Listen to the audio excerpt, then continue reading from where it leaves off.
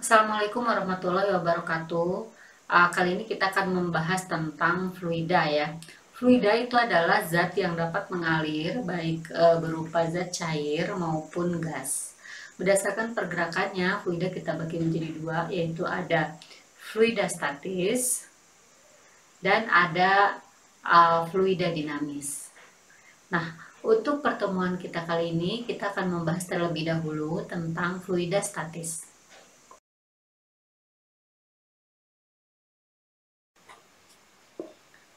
Materi-materi pokok pada fluida statis udah kita bahas uh, minggu kemarin sebagian di antaranya ya, yaitu ada tekanan hidrostatis, kemudian ada gaya Archimedes ya, dan kemudian nanti ada hukum Pascal, uh, selanjutnya tegangan permukaan, kapilaritas, dan viskositas ya.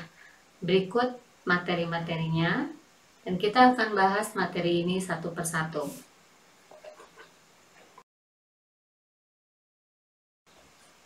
Nah, eh, yang pertama ini tentang tekanan hidrostatis. Mungkin anak-anak pernah melihat ataupun pernah mengalami langsung untuk eh, diving ya. Nah, kita lihat di situ ada data ya. Semakin ke dalam, semakin dalam airnya, maka itu tekanannya semakin besar ya. Di permukaan, permukaan air laut itu tekanannya 1 atm. Kemudian pada kedalaman 10 meter tekanannya berubah menjadi 2 atm dan pada kedalaman 50 meter tekanannya menjadi 6 atm. Jadi setiap 10 meter itu berubah tekanannya 1 atm ya. Di semakin dalam maka tekanannya akan semakin besar. Kenapa? Eh, di pada kedalaman tertentu kita akan mengalami tekanan hidrostatis. Mari kita lihat air di dalam bejana berikut ini. Nah, kita lihat di sini ada air di dalam bejana ya. Nah, kalau kita misalkan kita ambil se, sebagian e, air luas permukaannya A pada kedalaman H ini, maka si air ini akan mendapatkan tekanan akibat dari air yang ada di atasnya ini. Karena air ini kan yang di atas ini kan punya massa, berarti dia punya gaya ya. Jadi di sini ada gaya berat gitu ya. Maka tekanan yang dialami oleh luas permukaan itu tekanannya P sama dengan F per A di mana F-nya itu adalah gaya yang disebabkan oleh air yang ada di atasnya ini maka bisa kita tuliskan W per A. Jangan lupa W itu adalah M dikalikan G ya. Masa kalikan G per A. Nah Massa itu bisa kita cari dengan massa jenis kalikan volume ya. Jangan lupa situ rho sama dengan M per V ya. Jadi masanya adalah rho dikalikan V. Maka tekanan di sini bisa kita cari dengan rho kalikan V ini kali G per A. Nah, volumenya berapa kalau kita ambil luasan yang ini, kemudian ini e, kedalamannya H, maka volumenya bisa kita hitung dengan e, luas alas dikalikan tinggi gitu ya. Rho kalikan H kalikan G kalikan A, per dibagi A. Nah di atas ada A di bawah juga ada A bisa kita bagi A dengan A nya habis sisa rho GH rho nya itu adalah rho air. Jadi kalau ini di sini zat cair apa saja maka di sini rho nya adalah rho zat cair. Nah inilah yang disebut dengan tekanan hidrostatis. Tekanan yang disebabkan oleh zat cair pada kedalaman tertentu. Jadi P-nya pH gitu, tekanan hidrostatis, rho zat cair kalikan G kalikan H gini ya. Nah, di mana eh, rho zat cairnya itu adalah massa jenis zat cair, ini ya. Massa jenis zat cair. Kemudian G-nya itu adalah percepatan gravitasi. Kemudian H-nya itu adalah kedalaman. Nah, jangan lupa di sini kedalaman itu bukan dari bawah ya, tapi dihitung dari atas. Ini dihitung dari atas sampai ke titik mana kita menghitung tekanannya itu ya. Jadi diukur dari permukaannya. Dan yang ini adalah tekanan hidrostatis. Satuannya Pascal. Nah, e, bagaimana kan e, si fluida itu bukan hanya air, tapi udara juga merupakan fluida. Jadi udara juga memiliki tekanan. Di sini ada tekanan udara P0. Maka tekanan total yang dialami e, luas permukaan itu tekanannya tinggal dijumlahkan dengan tekanan udara. Jadi tekanan totalnya Sama dengan P0 tekanan udara ditambah rho cair kali G kali H. Nih.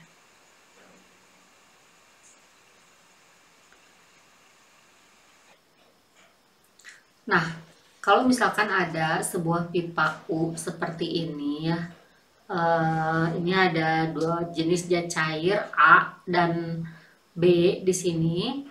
Nah, di sini ada perbedaan ketinggian yang jenis uh, zat cair A itu tingginya adalah HA dan zat cair B itu HB pada titik yang sama ya.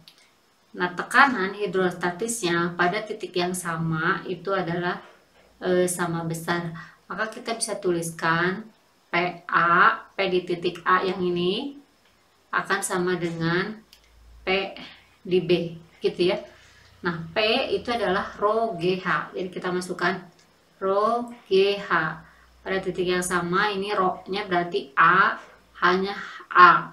Sama dengan PB-nya adalah rho GH. Ini rho B dan HB. Maka e, karena G-nya sama kiri kanan, maka G-nya kita e, coret sisa rho A kalikan HA sama dengan rho B kalikan dua yaitu konsep gaya apung atau gaya Archimedes. Gaya apung atau gaya Archimedes ini banyak sekali dimanfaatkan dalam kehidupan kita sehari-hari. Misalkan itu untuk balon udara atau untuk uh, kapal selam gitu ya. Kapal selam itu ketika dia akan masuk ke dalam air ataupun kita akan ketika dia akan muncul ke permukaan itu menggunakan konsep dari uh, gaya apung. Kita pun dalam kehidupan sehari-hari itu uh, sering merasakan adanya gaya apung ketika kita misalkan sedang berada di dalam air, maka tubuh kita akan terasa lebih ringan ya. Nah, kalau dilakukan di dilakukan percobaan gitu, Nah, misalkan ada sebuah benda ini ketika ditimbang di udara, kemudian ditimbang di dalam air, maka akan berkurang beratnya ketika dia ditimbang di dalam air. Kenapa? Karena dia ada gaya apung atau gaya Archimedes. Lalu apa sih sebenarnya gaya Archimedes ini? Kita coba lihat ya. Kalau misalnya ini kita punya sebuah e, bejana, kemudian bejana ini diisi air. Ini kemudian ada di ada sebuah benda yang masuk ke dalam air ya, batu atau apa ya misalkan sini ada sebuah benda yang masuk ke dalam air. Nah, kalau kita perhatikan ya, maka si benda ini bagian bawah sini ini kedalamannya dari permukaan air ini adalah H ya. Sedangkan bagian yang atas ini dari permukaan air ini H aksen. Jadi ada perbedaan kedalaman ya antara bagian atas dengan bagian bawah. Karena perbedaan inilah maka timbul adanya perbedaan tekanan hidrostatis ya. Tadi ingat tekanan hidrostatis itu dipengaruhi oleh kedalamannya. Nah, maka di sini kalau misal yang ini berarti rho GH ya yang ini, yang ini rho GH aksen. Jadi ada beda tekanan delta P sama dengan rho GH dikurangi rho GH aksen gini ya atau sama dengan rho G eh, H dikurangi H aksen. Ini delta P nya beda tekanan tekanannya. Ini si benda ini kalau misalkan dia punya luas permukaan sebesar A misalnya luas permukaannya maka kalau delta P dikalikan A ini jadi gaya gitu kan? Nah ini sama dengan rho G kalikan delta H gini kalikan A gini ya nah ini delta P dikalikan A itu adalah gaya, maka disebut dengan gaya Archimedes atau gaya apungnya ya. Gaya apungnya. F sama dengan, nah ini kita perhatikan, delta H ini adalah tinggi dari benda ini ya, tinggi dari benda ini atau lebarnya gitu. Dikalikan luas, berarti jadi volume benda ya. Jadi ini rho G V. Rho-nya adalah rozat cair dan V-nya adalah volume benda yang masuk ke dalam fluida. Gini ya. Nah, jadi ini gaya apungnya atau gaya Archimedes, satuannya Newton. Kemudian rho zat cair, rho-nya ini adalah massa jenis zat cair.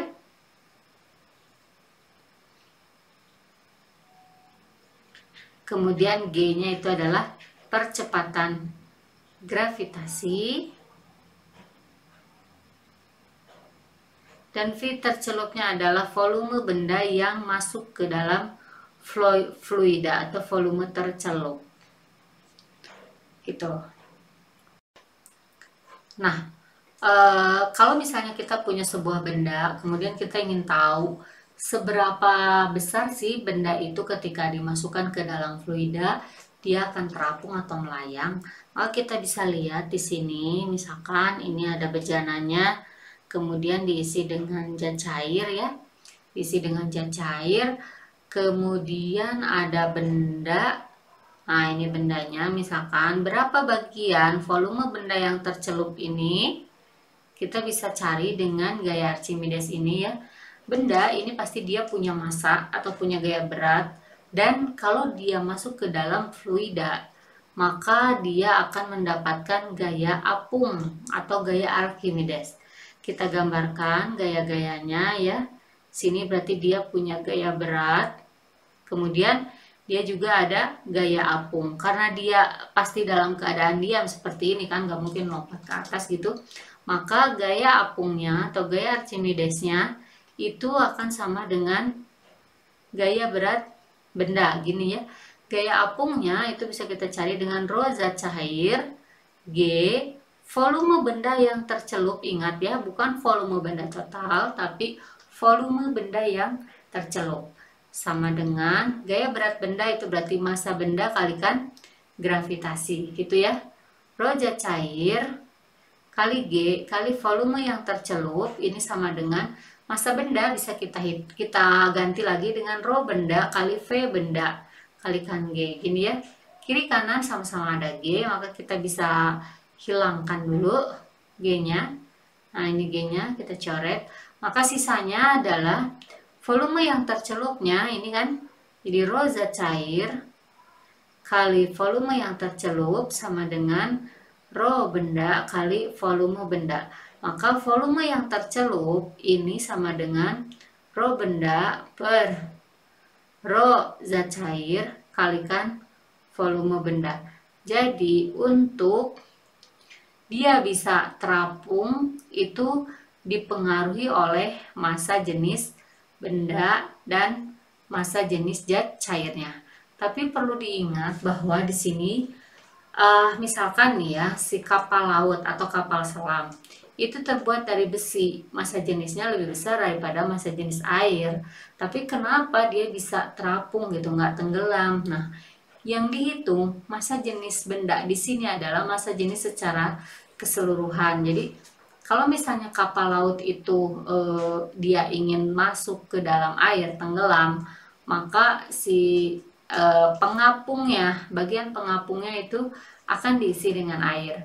Tapi kalau misalkan dia ingin naik ke permukaan, maka si pengapungnya itu dikosongkan sehingga di dalamnya itu ada uh, lubang, eh bukan lubang, ada ruangan yang berisi udara. Nah, ruangan yang berisi udara itulah yang berfungsi sebagai pengapungnya gitu dan itu akan memperkecil masa jenis dari kapal selam tersebut ya nah tadi disebutkan ada tenggelam ada terapung nah biasanya kita bisa eh, definisikan apa sih benda tenggelam terapung itu nah eh, apa yang akan terjadi kalau misalnya massa jenis benda ini lebih besar daripada massa jenis cair? Kita ingat tadi kalau volume yang tercelup itu adalah massa jenis benda dibagi massa jenis zat cair dikali volume benda gini ya. Nah sekarang kalau massa jenisnya lebih besar daripada massa jenis zat cair, maka volume yang tercelupnya adalah lebih besar dari volume benda. Nggak mungkin kan? Pasti volume benda semua. Nah ini berarti dia kan tenggelam. Ini tenggelam ya. Ini untuk tenggelam.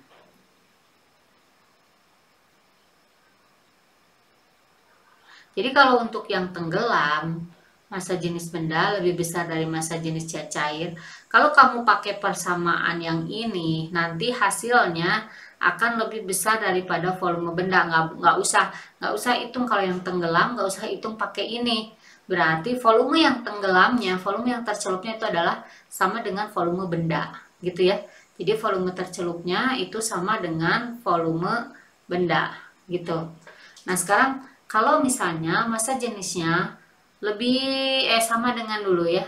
Kalau massa jenisnya sama dengan massa jenis zat cair, berarti dia akan melayang. Nah, gini ya.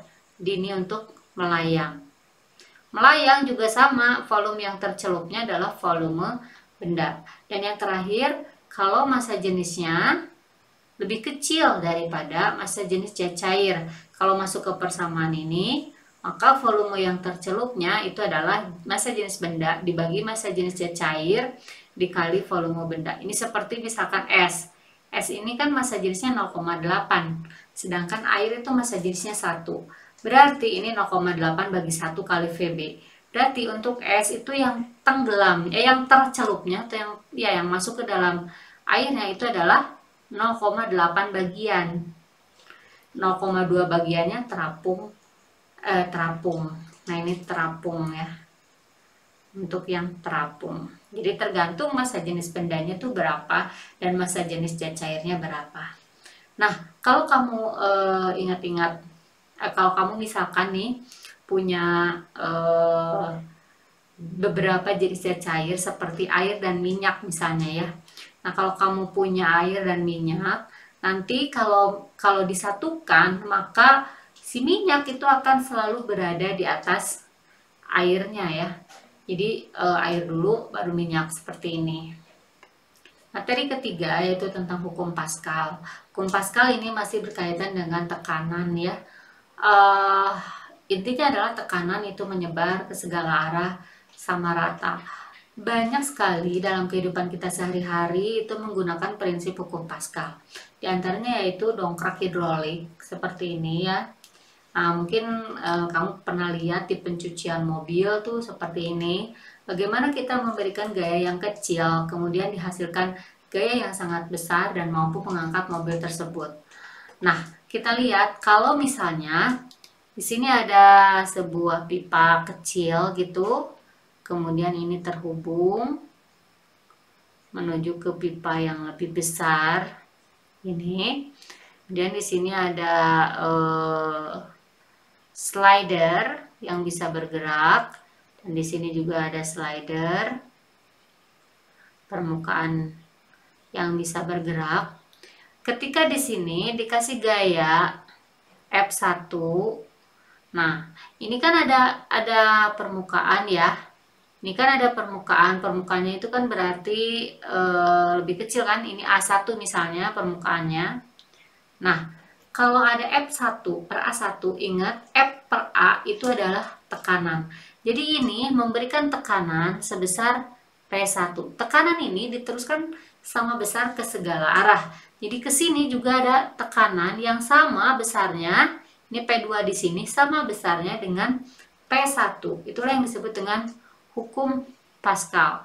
Jadi P1 ini sama dengan P2. Nah, karena di sini ada luas permukaan lagi, di sini ada luasnya misalnya luas permukaannya di sini A, misalnya A2 misalnya, maka di sini timbul gaya sebesar F2. Gitu ya. Nah, tekanannya kan sama, berarti di sini F1 per A1 ini akan sama dengan F2 per A2. Inilah hukum Pascal ya. Hukum Pascal. Nah, untuk kasus yang seperti ini, untuk kasus yang seperti ini, kalau misalnya luasnya itu berupa silinder gitu, maka kamu bisa cari dengan luas e, permukaan e, silinder ya, e, lingkaran 4 e, VR kuadrat yang subkepat. Nah, itulah kenapa untuk si mobil ini ketika kita memberikan gaya yang kecil, kita lihat ya, di tempat pencucian mobil tuh ada e, dongkrak hidrolik ya, pencuci mobil hidrolik seperti ini. Jadi dengan kita memberikan gaya yang kecil ke sebelah sini, gini, maka gaya ini akan diteruskan ke se, e, maka tekanan. Nah ini kan ada gaya, di sini ada A ya. Jadi dia memberikan tekanan kan ke sini ya, F1 A1 gini. Nah karena di sini ada tekanan, nah tekanan ini diteruskan ke segala arah sama besar. Jadi di sini P2 ini sama dengan P1. Ini yang disebut dengan hukum Pascal ya. Ini hukum Pascal. P2 itu sama dengan P1. Di tekanannya diteruskan ke segala arah sama besar. Nah, di sini karena di sini juga ada luas. Ini luasnya luasnya lebih besar gini A2 misalnya ini maka F2 nya juga akan lebih besar jadi dengan memberikan gaya yang kecil maka kita eh, maka di akan dihasilkan gaya yang lebih besar pada dongkrak hidrolik ini ya kalau kita masukkan persamaannya ini berarti P itu adalah F per A jadi F1 per A1 sama dengan F2 per A2. Nah, gini ya. Ini bunyi dari hukum Pascal. F1 itu adalah gaya yang pertama, A1 luas yang pertama, F2 A2 luas yang kedua. Goreng. Eh. Baik, materi berikutnya yaitu tentang tegangan permukaan. Mungkin uh, kamu pernah mendengar kalau nyamuk itu bisa berjalan di atas air ya, kalau manusia enggak ya.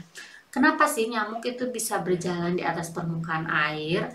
Nah, ini disebabkan karena adanya tegangan permukaan ya, tegangan permukaan air. Kamu bisa melakukan eksperimen seperti ini ya.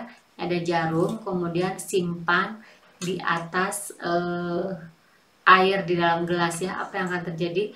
jarum meskipun masa jenisnya itu lebih besar ternyata dia tidak tenggelam ya nah sekarang si airnya ini coba kamu e, tambahkan dengan deterjen apa yang terjadi nah fungsi deterjen itu adalah untuk memecah atau memperkecil tegangan permukaan air ketika kita mencuci baju misalnya ya Nah, maka ketika kita mencuci baju, kalau nggak pakai sabun, itu kan kotorannya tuh eh, agak susah lepas gitu ya. Agak susah lepas. Kenapa? Karena air itu memiliki tegangan permukaan, sehingga dia tidak bisa menyerap kotoran. Tapi kalau misalkan si airnya itu dikasih deterjen, maka tegangan permukaan airnya itu e, bisa lebih kecil dan dia mampu menyerap kotoran lebih baik dibandingkan dengan air saja. Kamu bisa uji coba e, konsentrasi berapa sih deterjen yang paling optimal ya untuk mengangkat kotoran. Jangan-jangan kamu e, hambur-hamburin deterjen gitu padahal dengan deterjen sekian itu udah cukup gitu. Nah, sekarang gimana sih tegangan permukaan air itu? Kalau misalkan kita punya e, air di dalam bejana gini, Kemudian kita menyimpan sebuah benda, misalkan bendanya itu berupa jarum ya. Tadi berupa jarum gitu disimpan. Nah, ini jarum ini akan diam di atas eh, air gini. Nah, maka besar tegangan permukaan airnya, tegangan permukaan airnya besarnya adalah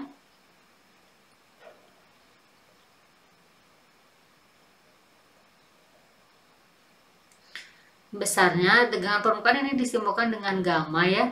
Besarnya itu adalah F dibagi keliling basah. Jadi keliling yang terkena air permukaan yang terkena air ya kalau misalkan untuk jarum biasanya diameternya kan kecil banget tapi jarumnya tuh panjang ya. Diameternya tuh misalkan hanya satu mili sedangkan panjang jarumnya itu bisa sampai 5 cm gitu. Maka si diameternya itu biasanya diabaikan aja. Jadi kelilingnya itu bisa kita cari dengan 2L jadi L yang bagian kiri dan bagian kanan gitu ya. Jadi uh, F sorry. Jadi uh, gamanya ini sama dengan F per 2L khusus ini untuk jarum ya khusus untuk jarum jadi gaya dibagi dengan keliling basah. Ini gaya ya. Ini gaya. Newton. Dan 2L itu adalah keliling basah untuk jarum. Tapi pada intinya adalah berapa kelilingnya ya. Selanjutnya adalah tentang kapilaritas. Kapilaritas itu e, mungkin kamu pernah mendengar ada istilah ini kapilaritas yaitu peristiwa meresapnya air atau naiknya air ke dalam pipa kapiler ya. Di dalam pemanfaatan kehidupan sehari-hari itu banyak e, misalnya tumbuhan itu dia memiliki sifat kapilaritas dengan menyerap air di dalam tanah untuk dia mereproduksi e, makanannya. E, kemudian juga kalau kalau kamu misalkan menyalakan e, lilin ini lilin aromaterapi ya itu juga sama memanfaatkan prinsip kapilaritas. Karena si aromaterapinya itu bisa menyerap ke dalam sumbu sumbunya. Sehingga ketika dibakar itu jadinya wangi gitu ya. Nah uh, tapi di sini yang akan kita bahas kapilaritas itu adalah peristiwa naik atau turunnya permukaan air di dalam pipa kapiler si air air eh ke pipa kapiler kalau dia dimasukkan ke dalam air maka ini e, melengkung ke bawah airnya tapi dia naik ketinggiannya misalkan H jadi naik ke dalam pipa kapiler. Tapi kalau air raksa air raksa ini pipa kapiler dimasukkan ke dalam air raksa maka si permukaannya ini turun sejauh H. Gini ya. Nah, ini kan si ini kan jadi cekung ya. Ada menikus cekung. Menikus cekung berarti di sini ada sudutnya. Nah, sudut tetanya berapa? Sudut tetanya berapa? Sudut tetanya. Yang ini juga sama, ini ada menukus cembung. Sudut tetanya berapa? Kelebihan ya kelebihan. Uh. ini sudut tetanya berapa? Nah berapakah ketinggiannya untuk ke, ke, berapakah kenaikan atau penurunannya untuk kapilaritas ini? Maka kita bisa cari dengan H sama dengan 2 gamma cos theta per rho g r gini dengan e, gamanya hanya itu adalah kenaikan atau penurunan zat cair tersebut baik air maupun raksa atau apa saja. Jadi ini kenaikan atau penurunannya kenaikan atau penurunan zat cair Kemudian gamma itu adalah tegangan permukaan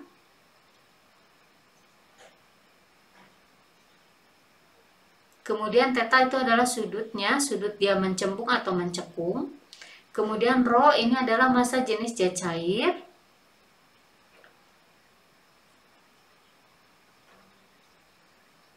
Kemudian G-nya gravitasi dan R-nya itu adalah jari-jari pipa kapiler.